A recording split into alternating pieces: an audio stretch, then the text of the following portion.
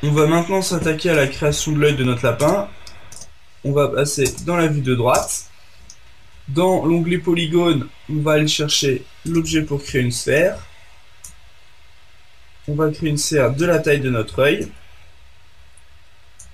On va ensuite aller dans la channel box pour aller dans input polysphère et on va mettre le subdivision axis et subdivision 8 à 32. On va sélectionner le vertex au centre de notre sphère. Avec le Move Tool, on va aller dans les Tool Settings et on va activer le Soft Selection. Ce Soft Selection, on va le mettre à 1,2. On va reculer à peu près ici. Voilà notre euh, sélection. Puis on va sélectionner les deux points suivants, mettre le follow radius à 0,75 et les déplacer comme ceci. Voilà. On va passer en Object Mode, sélectionner notre sphère, on va la placer sur l'œil comme ceci. On va ensuite sélectionner toutes ses faces, ici. On va désactiver la soft sélection et on va les supprimer. Voilà. Voilà. On supprime celle-ci. Et les deux dernières, ici. Supprime. Dans la vue de perspective, on va sélectionner toutes les faces.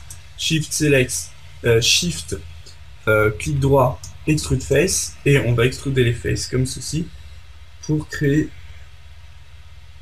un volume sur voilà, notre, euh, notre objet. On va ensuite sortir un peu l'objet comme ceci pour voir tous les endroits. On va faire une rotation. Voilà, c'est parfait. On va un petit peu le descendre et encore le tirer. On va sélectionner toutes les faces comme ceci. Donc en faisant un double clic, ça sélectionne à peu près euh, voilà. On va désélectionner celles qu'on ne veut pas qui sont là.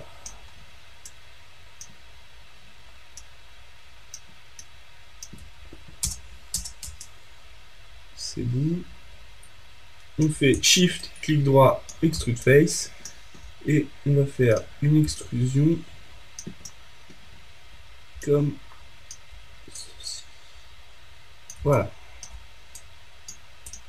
On appuie sur 3 et voilà l'extérieur de notre œil finalisé. On revient sur la vue de droite. On va créer une autre sphère d'à peu près la taille de notre œil. Et on va venir la placer en vue de perspective au centre de notre œil. On va l'agrandir. Un petit peu? Il faut faire une rotation aussi en Z.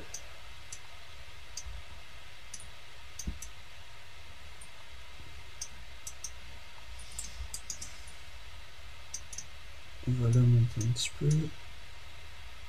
Il faut essayer que ça soit bien au centre. Pour laisser une petite marge autour qui soit à peu près la même partout.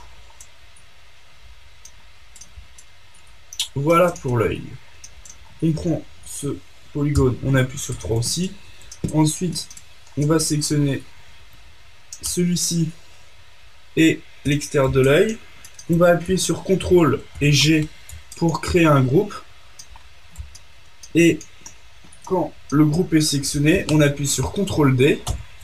Puis dans la Channel Box Layer Editor, on va dans Scale X et on appuie sur moins 1 comme ceci, on a nos deux yeux qui sont créés et positionnés euh, au bon endroit. Je vais appuyer sur 3 aussi là pour multiplier les, subdivisions de mon lapin et qu'il soit un petit peu plus joli. Donc voilà pour ce qui est de la création de l'œil du lapin. Maintenant on va rapidement ranger notre scène. Donc comment on va faire? On va tout sélectionner on va aller dans Edit, Delete by Type, History. Ensuite, on va ouvrir l'outliner, Window Outliner. Donc l'outliner est un objet, euh, est une fenêtre qui comporte, euh, qui va nous référencer tous les objets présents dans notre scène. Donc on va déjà sélectionner front et side et on va appuyer sur CTRL H. CTRL H ça permet de masquer la sélection. Donc on masque nos, nos deux images de référence. On va sélectionner notre lapin et on voit que ça sélectionne police surface 4. Donc police surface 4, ça a été sélectionné chez moi, mais chez vous, ça peut très bien sélectionner autre chose. Ça sera le nom de votre polygone, mais euh, en fonction de comment vous allez travailler, vous avez peut-être un autre nom. Donc on va le renommer en cliquant deux fois dessus, et on va l'appeler lapin. Ensuite, on voit deux groupes. Donc c'est l'œil droit et l'œil gauche. Donc on va les appeler GR euh, du bas œil du bas gauche pour celui-ci et celui-ci, ça va être GR, tiré du bas, œil, tiré du bas, droit. Et les sphères qui sont à l'intérieur, c'est l'extérieur de l'œil et l'intérieur.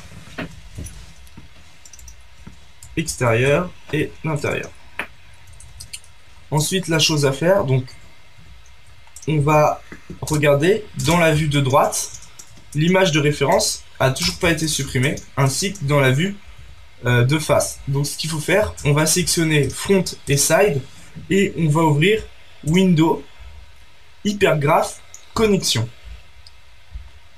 Cette fenêtre va nous montrer toutes les connexions des objets qu'on a sélectionnés. Donc on a sélectionné front et side. Et en fait, ça c'est sélectionné. Euh, ça, pardon, c'est connecté à la side et ça à la front et on va supprimer nos deux images de référence. En les supprimant, on voit que ça a été supprimé ici aussi. Donc voilà, notre scène est parfaitement rangée. On peut fermer notre outliner.